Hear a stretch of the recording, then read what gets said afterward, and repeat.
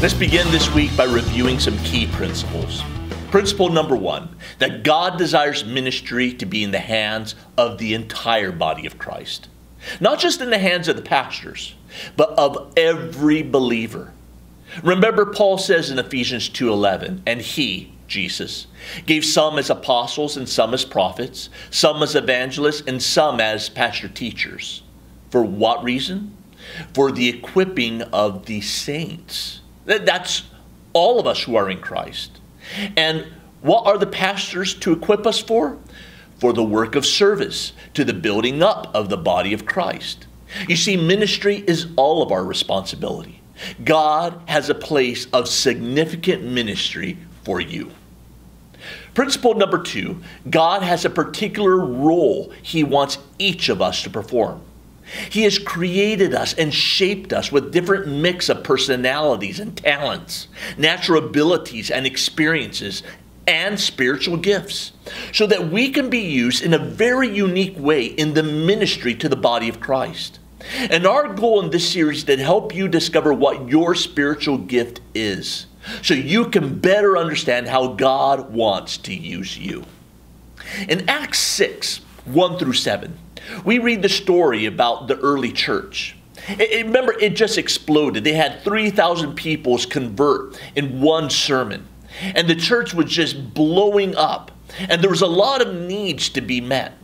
And one of those needs were caring for the widows, distributing food to the needy. Some of the widows were being overlooked, and it created this whole big commotion. People were crying out discrimination. So the report got back to the apostles.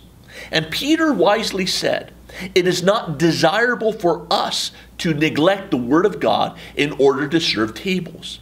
Therefore, brethren, select from among you seven men of good reputation, full of the Spirit and of wisdom, whom we may put in charge of this task but we will devote ourselves to prayer and to the ministry of the word. The apostles were not saying that they were too good or too important to be serving tables, but that it was not desirable. It wasn't convenient.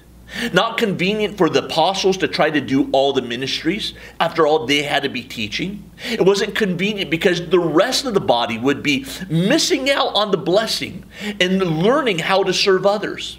It wasn't convenient because God's will was that other people and all of us would be used and use our gifts in the ministry to one another's. Principle number three, and I want you to pick up on this that those who are productive in their lives have set priorities in their lives.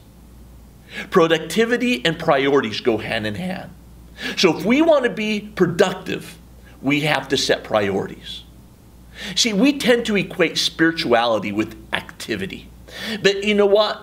Increased activity is not always indicative of spirituality, but of a loss of priorities. You know, one of the most active creatures in the world that I know of is a chicken who's had its head severed. See, it has all this activity, feathers, and it's flopping around and moving about, but its activity is indicative that its head been separated from its head. And when I start running around doing all kinds of things and, and it's so busy, I have no time really to do anything well, it's indicative that I've lost contact with my head, Jesus. Jesus said, My yoke is easy, my burden is light. There's a silent supposition that ministry is to be hard and burdensome. But you know what? The Lord says, No, I don't want to burn you out. The key is to discover how the Lord has formed you so you can focus your efforts and do what He's made you, created you to do. We learned last week that there's three categories of spiritual things. Remember? There's manifestations. These are supernatural ways in which God reveals himself to a person or persons. The list of these manifestations appear in 1 Corinthians 12. There's nine of them the word of wisdom, the word of knowledge, faith, gifts of healings, working of miracles, prophecy, discernment of spirits, tongues, and interpretation of tongues. Now, these are not things that people can do at their will and whim. But these are things that come and go as the Lord sees fit. And some of us may never see one manifestation in our lives, and that's okay. They're not a sign of being spiritual. They are simply supernatural way God reveals himself in a situation to a particular person or persons. Secondly, there's ministries. These are roles God gives to individuals to fulfill in the church for the edification and the advancement of the body of Christ. These ministries appear in Ephesians 4:11: apostles, prophets, evangelists, and pastor teachers. Thirdly, there's gifts. And this is the focus of our study, and I shared 10 characteristic of spiritual gifts. First of all, that spiritual gifts are not the same thing as the gift of the Spirit. Spiritual gifts are not the same thing as natural talents or abilities. Spiritual gifts are not the same thing as the fruit of the Spirit. Rather, spiritual gifts are given to every believer at salvation. Spiritual gifts can remain dormant and undiscovered for long periods of times. But spiritual gifts are given by God sovereignly. It's His choosing which one we get, not ours. Every Christian has one and only one of these spiritual gifts. And no one spiritual gift is superior to the other or more spiritual than the other. They're rather their inward motivation and supernatural means that each believer possesses to express and demonstrate love to the body of Christ. They're given to produce the life of Christ in every believer. Now, the list of spiritual gifts appear in Romans chapter 12, and there's seven of them, and only seven. So each one of us has one of these. And that's what we want to discover which one the Lord has given us. But before we go into the discovery phase, I need to define what each one of them is so we understand them. So get your pencils out, okay?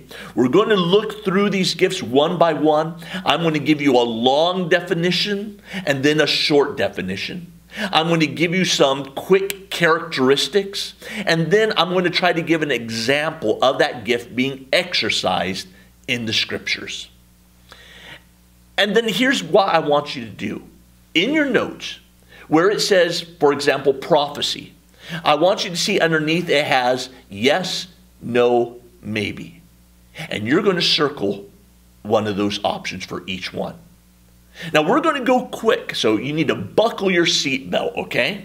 Uh, by the way, when Peter talks about our gifts in 1 Peter 4 10 through 11, he categorizes our gifts into two groups their speaking gifts and their service gifts, verbal and nonverbal gifts.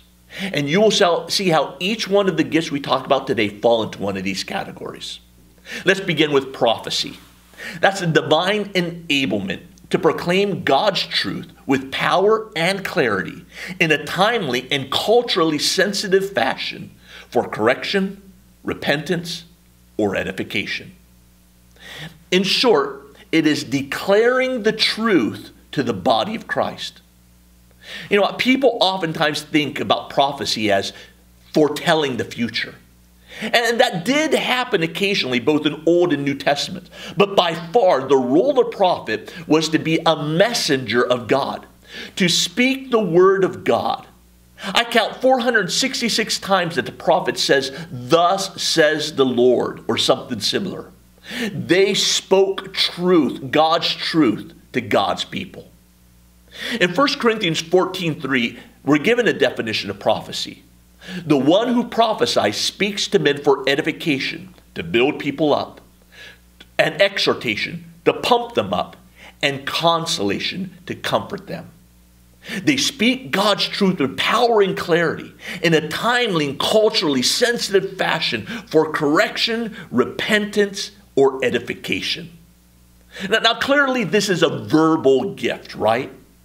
And one of the good tests of this are Prophets are people who often intuitively are asking the question in every situation what does God's word say about this? The best example I can think of of this gift is John the Baptist.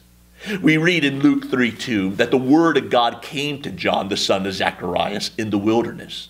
And he came into all the district around Jordan, preaching a baptism of repentance for the forgiveness of sins. Verse 7. So he began saying to the crowds who were going out to be baptized by him, You brood of vipers, who warns you to flee from the wrath to come? Therefore, bear fruits in keeping with repentance. And do not begin to say to yourselves, We have Abraham for our father. For I say to you that from these stones God is able to rise up children to Abraham. Indeed, the axe is already laid at the root of the trees. So every tree that does not bear good fruit is cut down and thrown into the fire. Speaking uncompromising truth that's a sign of prophecy. Verse 10 And the crowds were questioning him, saying, Then what shall we do? The man who has two tunics is to share with him who has none. He who has food is to do likewise. Verse 12, and some of the tax collectors also came to be baptized, and they said to him, Teacher, what shall we do? Collect no more than what you have been ordered to. Verse 14, and some of the soldiers were questioning him, saying, and, and, and, what about us? What shall we do? Do not take money from anyone by force or accuse anyone falsely, and be content with your wages. Verse 18, so with many other exhortations, he preached the gospel to the people. See, John the Baptist is the epitome of one with this gift preaching the truth uncompromisingly. The characteristic of one with, is they tend to be persuasive speakers. They tend to see things in black and white. They're passionate against sin and calling people back to repentance. So, do you think this describes you? Yes? No? Maybe? Gift number two service. The key word here is the word diakonon. It's translated sometimes deacon, and it literally means to serve or to wait tables. So, service is the ability to demonstrate love by meeting practical needs that release other Christians for direct spiritual ministry. A short definition is exercising the truth within the body of Christ. See, the question these people intuitively ask because of this gift is what can I do to help? What can I do? You know? A great example of a person with this gift was this gal in Act 9 named Dorcas. She's described as a woman who was abounding with deeds of kindness and charity, which she continually did. When she died, we're told the whole church was crying and mourning, and they called for Peter to come. Why were they mourning her so much? Was she a great teacher, a powerful prophet? no, it says that the widows wept, showing all the tunics and garments that Dorcas used to make while she was with them. She was merely a servant. See, this is one of the least appreciated gifts in the body. Nobody seems to want to admit that they have the gift of service, yet it's so important and needed. I would also venture to say that this is probably one of the most common gifts. When you go to your church this weekend, you, you don't see these people with their gifts necessarily, but they make things happen. Someone got there early. Someone turned on the light. Somebody cleaned things up. Somebody folded the bulletin. Somebody typed something. Someone's watching the kids. Uh, someone fixed, you know, uh, the, the, the lights. Someone helped the single moms. Someone's doing repairs at night. All these are all kinds of people uh, that the Spirit of God uses. They're, they're the, where the rubber meets the road practically, you know, uh, heroes heroes in my estimation. In fact, Paul says the more unseemingly less visible members is what we should exalt. That's this gift. It's clearly a non-verbal gift. And some of the characteristics of a person with this gift is they don't want much public recognition. These people don't seek the limelight. They're, they're content working behind the scenes. They, they often like manual projects. Uh, they usually uh, have this ability to detect other people's personal needs. See, these are the kinds of people that walk into your house or there's a conversation and they come around later and they fix something for you. And you're thinking, how did you even know that I needed that, that that needed a fix? Well, when I came over, I saw that it was broken, so I decided to come and fix it. They're really attuned to meeting the practical needs of people. And that's how they show and express their love. These people are able to be to overlook personal discomfort in order to meet other people's needs and will often use their own funds to make things happen because they simply want to serve. Is that you? Yes? No? Maybe? Gift number three teaching.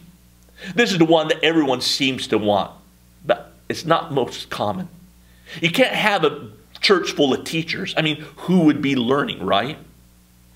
Teaching is the divine enablement to understand and give detailed explanation of biblical truth. It's the ability to search out and validate truth that has been presented. Now, the classical Greek word used here is to impart information in order to develop talent and potential. It's the motivation and power to present with clarity the truth of the Word of God.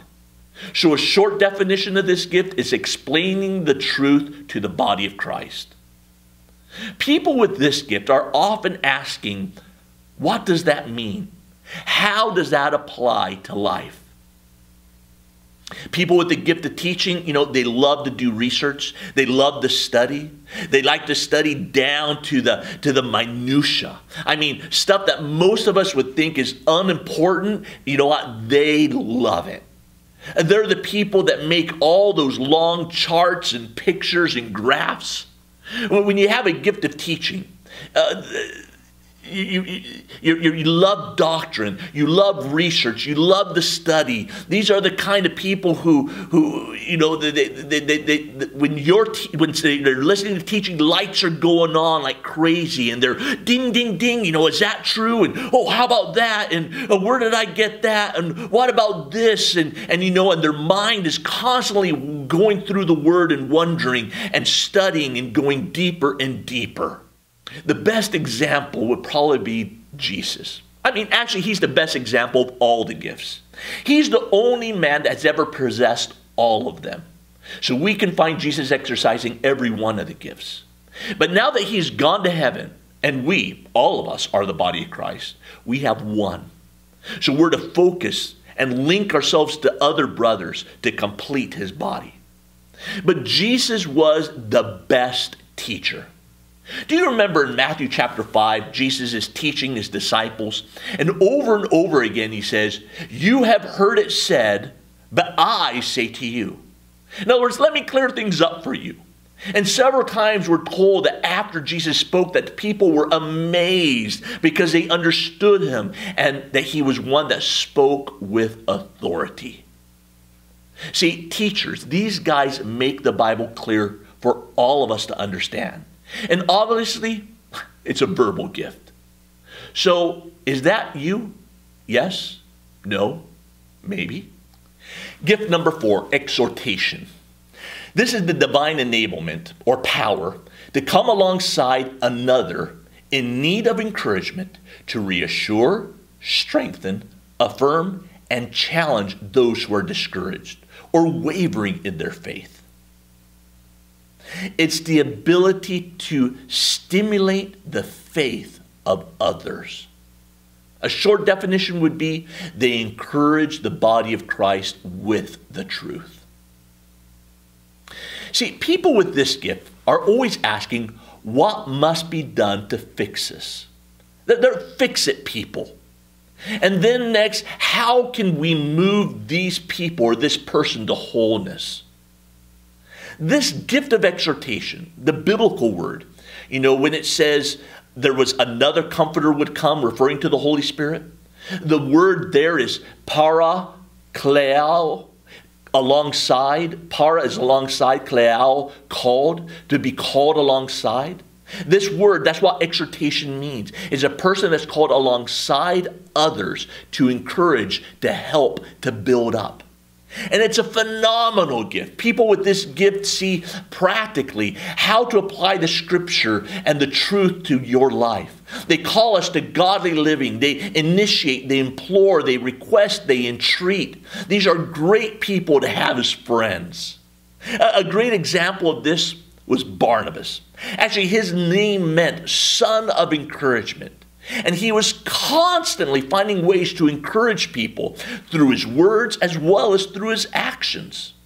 For example, in Acts chapter 4, we see how he gave some land to be sold to help the needy in the church. He was encouraging them in their poverty by showing love to them. Then in Acts 9, when no one wanted anything to do with this Saul of Tarsus because they didn't trust him, he was a persecutor. Barnabas brought him under his wing and accepted him and believed in him and began to teach him. Then in Acts 13, initially we see Barnabas as the leader of the missionary group. You know, it's Barnabas and Paul, Barnabas and Paul. But suddenly things change in Acts 13, where it begins to say Paul and Barnabas. Again, the encourager is stepping aside and letting his disciple take the reins in the leadership. In Acts 15, we see Barnabas sees a potential in another young man named John Mark, and he brings him alongside to encourage him and disciple him. See, encouragers are great disciplers, great counselors. So, how about you? Gift of exhortation? Are you motivated to ask, how can I bring people to wholeness? Yes? No? Maybe? Gift number five giving. This is the divine enablement to wisely contribute to the work of the Lord with cheerfulness and liberality. See, it's the ability to entrust personal assets to others for the furtherance of their ministry. People with this gift are often asking the question what can I give to meet the needs? What can I give to meet the needs of others? The Greek word here is to share or to give. It's not necessarily money, but primarily, and it shows up in people's finances.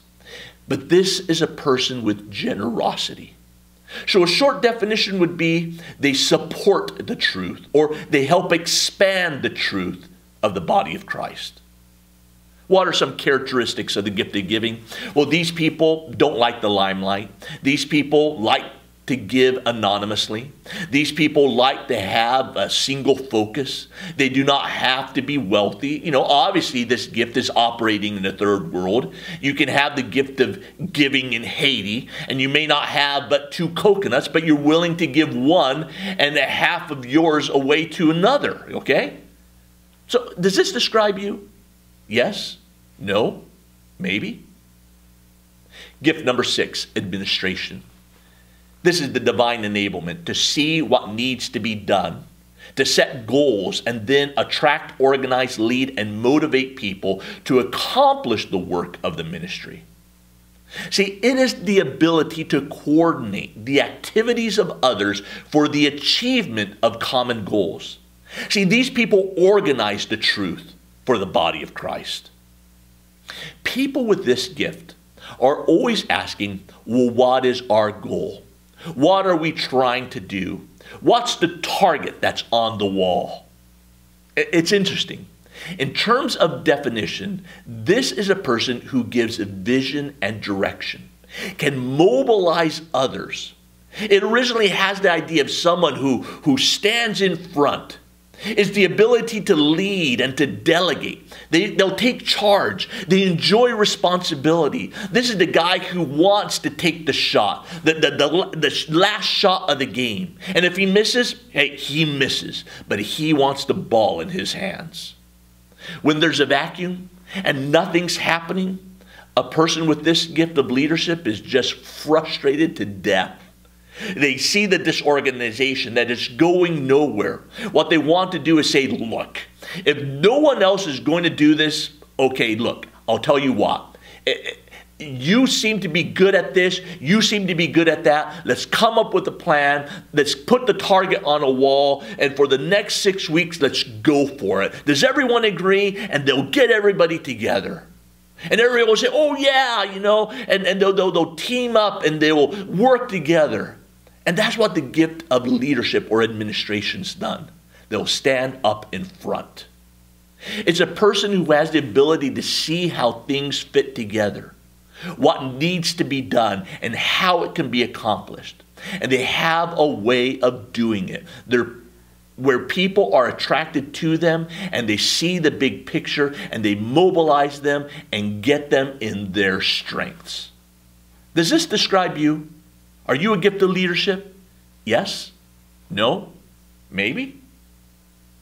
Gift number seven mercy. Okay, I, I, said the service was the least wanted gift. I, I, I was wrong. This is probably the least wanted gift.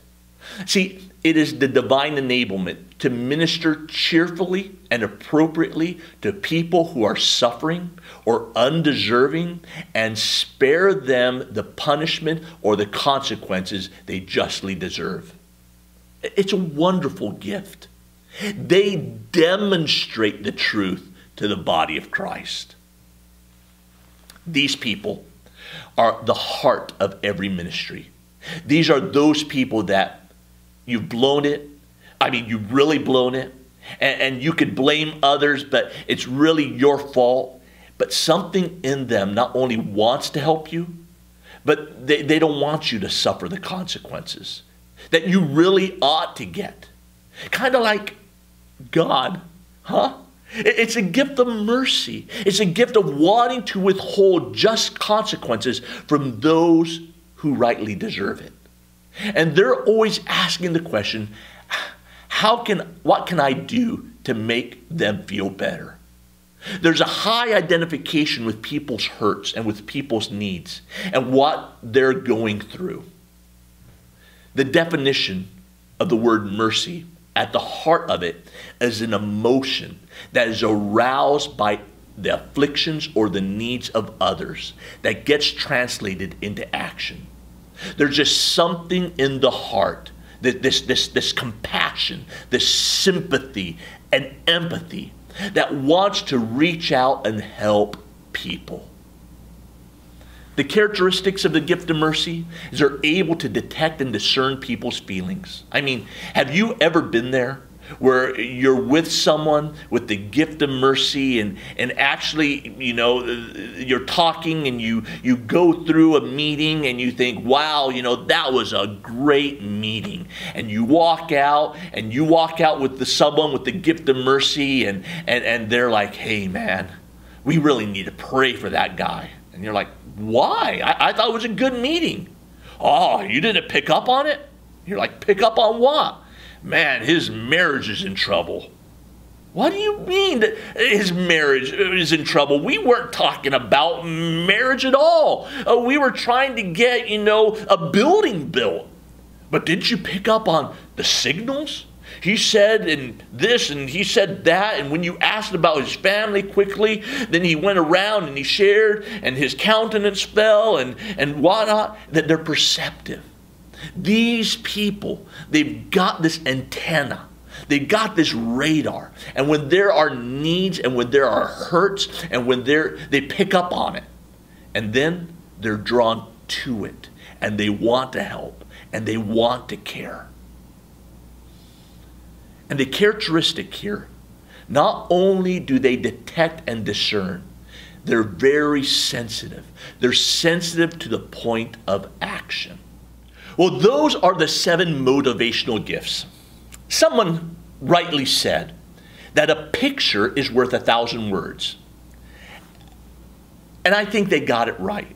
So let me give you a picture. Suppose I'm at church and I'm up in front preaching, and my son Nathan sees that my throat's a little parched, and he decides to come and bring me a cup of water. But as he's walking up to me, somebody gets in his way. He stumbles, he drops the glass, it breaks, it shatters, water falls all over the place. He falls on his face. How would you respond? Those of prophecy would say, Nathan, listen, uh, the world, world's full of pitfalls, and you got to be careful how you walk. You got to walk straight and on the path. And they would give him a powerful preaching uh, to try to meet poor Nathan's needs. I would say, "Oh, Nathan, I- am sorry. Don't don't listen to him. Don't feel bad. I've done that too," and would find a way to comfort him. Those with the gift of service would say, oh, Well, where's the broom? You know, I'll take care of that, Nathan. Don't worry. I'll clean up the mess. I'll sweep it up. You just relax. A gift of administration would question, Well, well who put the stairs here? Oh, oh, oh, this was poor planning. You know, I, I, don't even think these steps meet code. Get, get a measuring tape. We're going to see if these steps are the right height. Maybe that's the problem a gift of teaching would sit Nathan down and say, you know what, when you bring a glass of water, the first thing you need to do is you need to wipe all the excess water from the outside of the glass. Then you need to apply 20 pounds of pressure to the glass. And you need to carry it in this fashion. And they would give a great explanation on how to carry a glass of water so that it doesn't fall. The gift of giving would say, hey, how much does the glass cost? How much is the cleaning of the carpet going to cost? I'll cover it. And that's the body. They all look at the same event, but they see it in different ways. And that's how the body of Christ is to work. I believe that God has given everyone in this room a gift. Which one of those seven did you most resonate with? If you were at that, at that scenario, what would you naturally jump up to do? How would you resolve Nathan's problem? I tell you what, God wants you to walk in the good works that He has ordained for you from the foundation of the earth. That you should do those good works. And I'm going to tell you, when, when you do, you're going to get that double F in your life unbelievable fulfillment and unbelievable fruitfulness. Did you get maybe just a tiny little inkling that maybe what we read here today, one of them applies to you? Maybe you found two or, or three of them kind of resonated, but you're not sure. Well, don't worry. Next week, we're going to discover which one is our gift.